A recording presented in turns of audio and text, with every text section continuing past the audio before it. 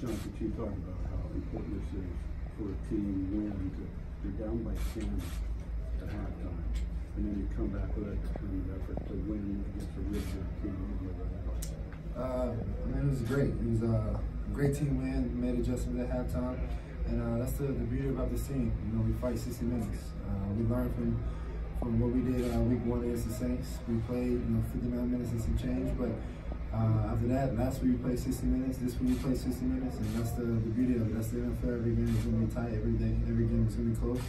Uh, you know, this is a good uh, conference win um, against a great team on the road. Um, so uh, this is uh, definitely we can build on this and learn from it. What did you see from that defense, particularly guys like Joey Bosa, Melvin Ingram, guys like that, that defense that kept kind of swarming you majority of the game? Yeah, they're very disciplined. They uh, know exactly what they wanted to do. They played, did some good games, um, and and they try to get to the ball as much as they can. You know, try to affect the pressure and the timing with, with myself and the receivers uh, downfield, and and uh, you know those are two great players that's gonna play a long time, and you know probably Hall of Famers. So it was good to, you know, try to control them as much as we can and, and try to move the ball.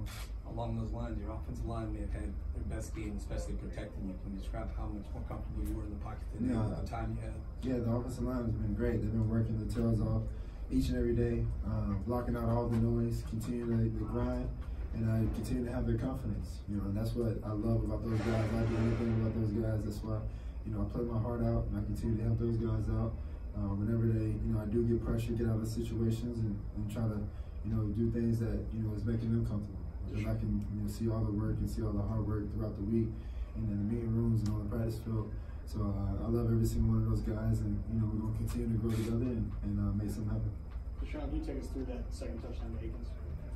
Uh, yeah, I just kind of stepped up, got out, out of a little pressure, and I seen A go right when I was more left, and no one was over there, so I just kind of flipped him the ball, and he made the play after that. So um, that was pretty much it on that. You make it sound a lot easier than it looked.